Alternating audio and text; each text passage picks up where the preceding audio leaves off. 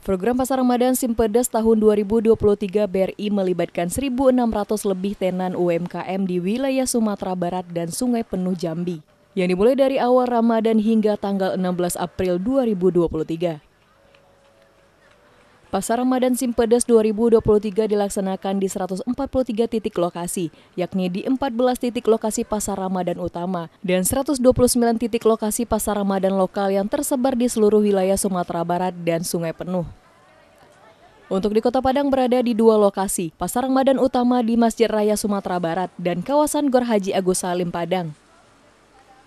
Pasar Ramadan Simpedes ini terdiri dari beberapa kegiatan utama, seperti pasar UMKM untuk menjual produk-produk UMKM, program Hari Tebus Murah yang dilaksanakan satu hari sepanjang kegiatan Pasar Ramadan Simpedes dengan berkolaborasi dengan agen supplier klaster Mitra BRI.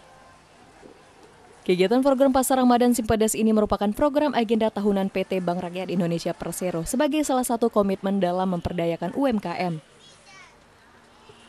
Pihak BRI berharap Pasar Ramadan Simpedes dapat menjadi sarana peningkatan literasi bagi pelaku UMKM untuk pertumbuhan ekonomi UMKM Sumatera Barat.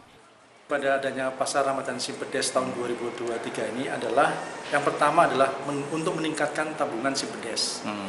Yang kedua adalah untuk memberdayakan para UMKM hmm. yang ada di wilayah Sumbar. Lebih kurang ada 1.640 tenan UMKM yang akan terlibat dalam kegiatan ini. Jadi hmm di pasar Ramadan ini selain tujuan itu juga untuk mengajak literasi terkait dengan perbankan. Hmm. Tentu juga melakukan pemasaran-pemasaran terkait dengan produk BRI. Hmm. Ini uh, secara nasional berbarengan hmm. di Sumbar ini hmm. ada 143 titik. Hmm.